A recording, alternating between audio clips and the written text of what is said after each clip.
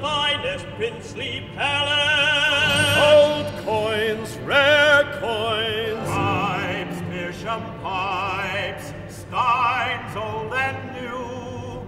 Beer tastes better in your own exclusive style. Old coins, rare coins. Silks and satins, velvets and brocades, fine fabrics, cheese and sausage.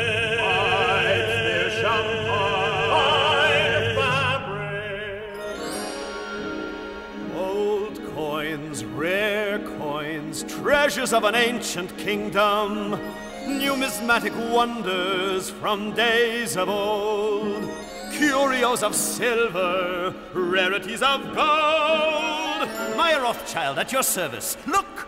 Look at this rare treasure. Older than Alexander the Great. And there's an ancient legend connected with this coin. Come, come closer. Long before Alexander was as great as he became, at the tender age of six, he knew ambition and contentment seldom mix. So he wondered, is it better to pursue eternal fame or to spend his life in tasting simple joys? Should he lead a quiet life or instead, should he organize an army and roam? Then he took a silver drachma and said, Heads, I conquer the world. Tails, I stay home. Yes, my friends, at this critical moment, when the fate of the world hung in the balance, he tossed a coin, he tossed a coin, saying, Coin, it's up to you. Tell me what I ought to do. Yes, he tossed it, and he watched it as it spun.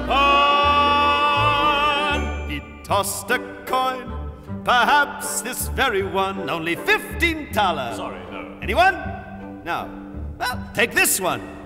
Behold, Cleopatra, her portrait in gold, and with it, a story. When Julius Caesar invaded Egypt, Cleopatra pondered how should she receive her Roman conqueror? Should she call him friend, welcome him with love, greet him with a warm Egyptian smile?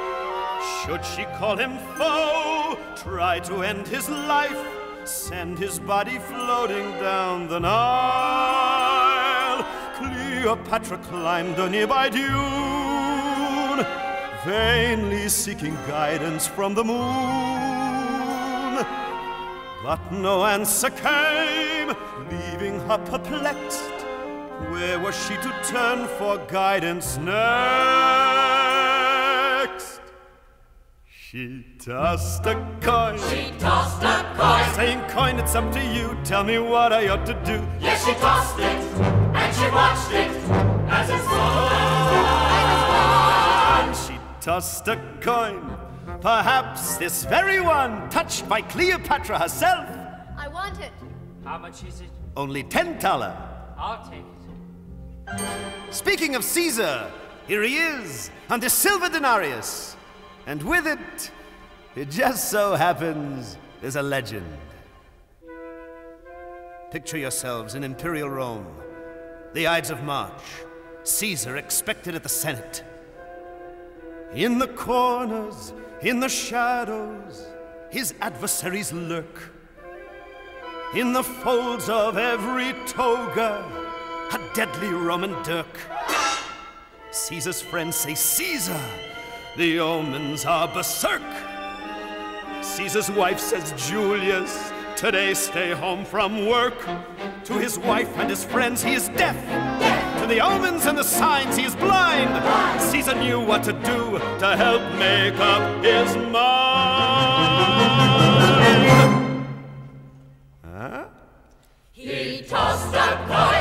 Coin. Tossed a coin, Say, say, coin, it's up to you. Tell me what I ought to do. Yes, he tossed Yes, he tossed it, and he watched, and he watched it as it spun.